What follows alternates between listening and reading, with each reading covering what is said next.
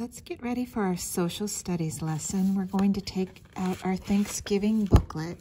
So we've learned um, a, a, little about um, the Wampanoag and the Pilgrims. So um, today we are on page five and actually, if you look on page 40, so we, we got to learn a little bit about how the children, pilgrim children live. They had many chores. And we just saw in today's video that the um, Wampanoag children, the Native American children, they had many chores as well. And also the clothes that they wore was different. It was made out of animal skins, right? Um, especially at the end of the video, it showed um, what the girls were wearing. Um, so they they um, lived off the land, what the land could provide. Um, it showed that they um, they had to go and pick berries. They had to um, um, go. They had to also crush corn. Did you notice they used the same way to crush the corn so that they could make a cornmeal out of it? And then they cooked over an open fire. So when we were learning about how the wetu was made, um, which those the girls in the video also lived in a wetu when they went back in time 400 years ago. Um, you could see how they lived inside the wetu. They had animal skins on their beds that they slept under. Um, they actually, it looked like, like what they said is that the the wetu was where they slept and where they stored things, but mostly they lived outside, and you could see that how their kitchen was outside, their fire where they cooked was outside, and then also the um, that wetu that the girls um, were were living in. It showed how there were just a few holes in the top to to let the like the smoke from the fire inside out. Um, so.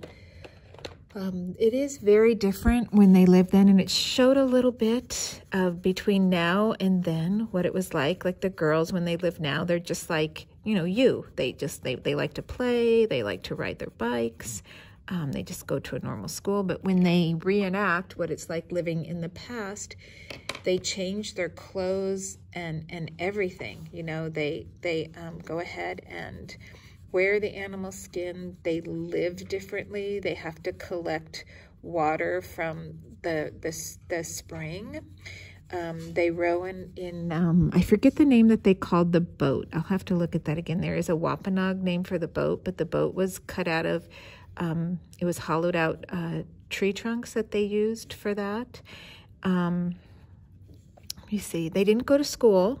Um, they did not go to school. It showed their sister cooking, um, and um, it was very different. No electricity. Again, that's like a, a big thing um, because we have electricity today to help us with everything, but there was no electricity um, back then. It wasn't invented till much later.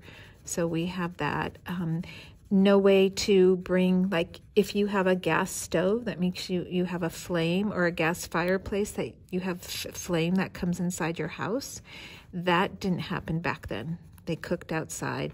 And if they wanted some light inside, then they'd have to bring like a candle or something like that inside. Okay, so a lot, a lot, life was a lot different 400 years ago than it is now. Okay, so um, I'm going to keep coloring here. And it's kind of interesting learning about how different life was before, but they still managed to, to um, do some games and have some fun, right? You notice that?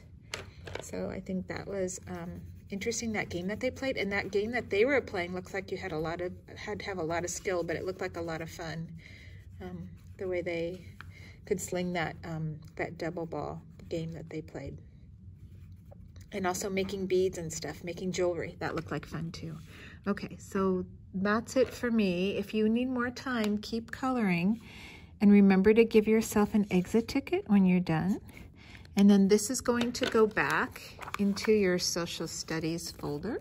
We're not done with that book yet. Okay, all right, thank you for joining me for this lesson. I hope you enjoyed it, boys and girls.